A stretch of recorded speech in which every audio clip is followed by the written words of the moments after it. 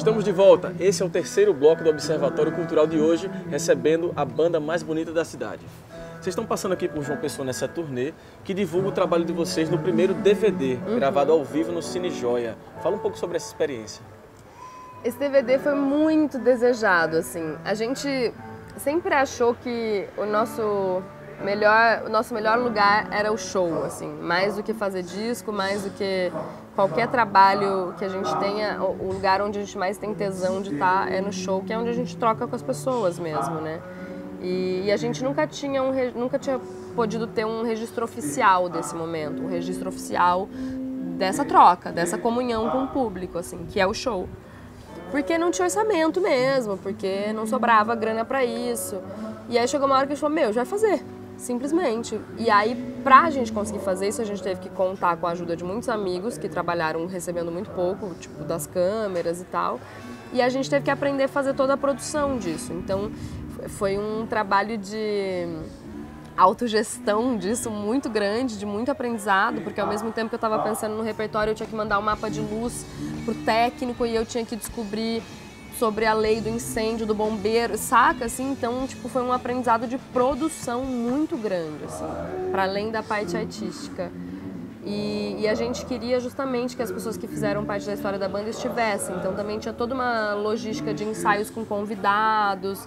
É, foi muito trabalhoso, mas eu me lembro que a hora que a gente subiu no palco e estava lotado e as pessoas estavam cantando foi, uma, um, foi quase como se eu pensasse eu vou ter uma coisa bonita para mostrar para os meus filhos, sabe? Assim, tipo, é, foi muito bonito assim o processo. Já faz dois anos que a gente gravou, né? Então eu às vezes olho esse DVD assim e, e penso, nossa, acho que eu já tô tão diferente de como as coisas estão ali, mas é um registro tão genuíno e tão bonito assim. É, enfim, do nosso trabalho e, e, do quanto a gente bota o coração na coisa, assim, sabe? Acho que esse DVD tem isso muito claro, assim. E o que é que o público que que está é, acompanhando essa turnê, como hoje aqui no Café Empório, é que ele pode esperar em termos de repertório? Como é que é a apresentação de, de vocês? Então, eu sempre pergunto no evento o que, que as pessoas querem ouvir. É, para eu dar uma sacada também, porque às vezes tem lugares que a gente vai que a galera tá super ligada ao primeiro disco, tem lugares que tá super ligado ao segundo, tem lugares que tá ligado em tudo, tem lugares que não tá ligado em nada. Então, tipo, eu dou uma sacada nesse ambiente, assim, e tento juntar o que a gente, o que a banda deseja fazer com o que também o público deseja. Então, eu dou uma misturada no que as pessoas querem é, com o que a gente também quer tocar, assim. Mas basicamente o que rola é esse repertório do DVD, porque o DVD ele é a, o resumo da carreira da banda. Tem coisas do primeiro disco, tem coisas do segundo disco, tem coisas que foram gravadas num vinil 7 polegadas que a gente fez com China, inclusive, que foi uma entre safra ali é, dos discos. E acho super legal falar também que o DVD ele foi prensado através de financiamento coletivo. Então o público mais uma vez nos ajudou a realizar, né, esse trabalho. No primeiro bloco eu descobri que você é minha colega de profissão no teatro, ah, sou ator também. Sim. Queria saber se essa tua experiência teatral influencia no, na tua, na tua pode chamar na atuação do sim. palco musical também, né? Como é que como é que essas duas linguagens caminham junto com você? Então, já pensei muito sobre isso e eu acho que totalmente influencia, mas eu não acho que influencia no sentido de fazer cena. Influencia no sentido de abrir canais quando eu tô cantando uma música, eu sou super, tipo, dramática quando eu tô cantando, mas não é muito consciente. Não é uma coisa que eu ensaio, ai, nessa hora eu vou fazer assim. Eu não. A minha, a minha preocupação é estar tá com os canais abertos para fazer o que eu quiser fazer, o que eu tiver vontade de fazer. E eu acho que quem me trouxe isso foi o teatro, até porque eu faço teatro desde os 9 anos de idade. Meus pais faziam teatro na minha cidade. Então eu cresci muito nesse meio e eu só fui entender que eu acho que eu só tô entendendo que eu tô da, que eu tô na música agora, assim, tipo cinco anos depois eu olho e falo, bom, acho que eu tô fazendo isso mesmo. Então todo e qualquer sentimento de liberdade que eu tenho em cima de um palco é, ou de prazer, ou de, ele vem do teatro, ele vem desse desse estar, assim, no teatro a gente está.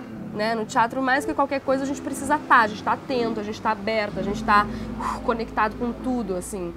E eu acho que esse estado teatral uhum. é o que eu trago para a música. E olhando para essa trajetória desde 2009 até hoje, que processos ou que principais transformações a banda mais bonita da cidade passou? Nossa, muitas. Eu acho que sonoramente, emocionalmente, as coisas caminham juntas, assim, né? Quando a, quando a banda estourou, a gente, eu tinha 24, vou, vou falar de mim, mas, né, estendendo pra banda, assim, mas, por exemplo, eu tinha 24 anos. Eu vou fazer 30 daqui dois meses, então é outro Yara, né? Então, nessa trajetória, conforme a gente vai amadurecendo, a gente vai chegando um pouco mais perto do, desse sentimento de estamos ficando adultos, meu Deus. Muda tudo, muda o que você ouve, muda o que você sente, isso vai para o teu trabalho, isso vai para o que você canta, é impossível não, não transformar. Então, acho que sonoramente a gente é, teve uma, uma trajetória bem... Eu brinco, eu falo, a gente saiu do ukulele para ter três guitarras no, no, no, próximo disco, assim. Acho que o som tá muito mais... Tá diferente, eu não vou, não vou dizer muito. Ouça o próximo disco. E já pra galera ficar atenta ao trabalho de vocês, vocês usam muitas plataformas de mídia social, sim, YouTube sim. e tudo. Então fala um pouquinho como é que as pessoas em casa podem encontrar o material de vocês, o trabalho de vocês. É, a gente está em todas essas redes sociais que, que, que existem. então a gente está no, no Facebook como a banda mais bonita da cidade, você pode procurar lá. No Twitter tá arroba banda mais bonita, no Instagram tá arroba banda mais bonita. A gente tem o site também, que é, é a banda mais. É, acho que é isso. Deve ter mais coisa, mas eu não sou muito da tecnologia. e além do próximo álbum que você já falou que vocês estão preparando aí, quais são os próximos planos da banda? Nossa, é que esse álbum já está sendo tão assim, tá ocupando meu, tá ocupando meu pensamento.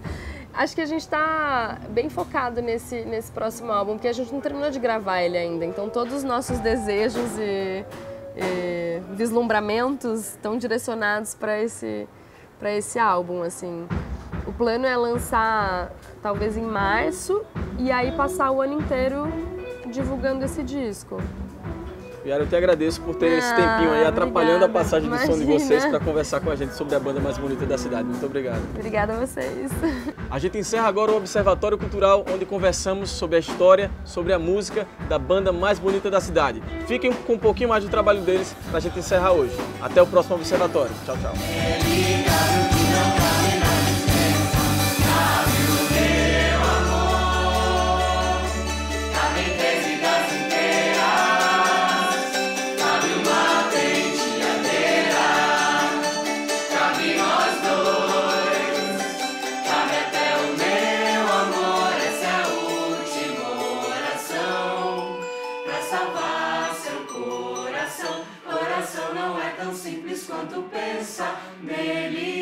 Que não cabe na dispensa.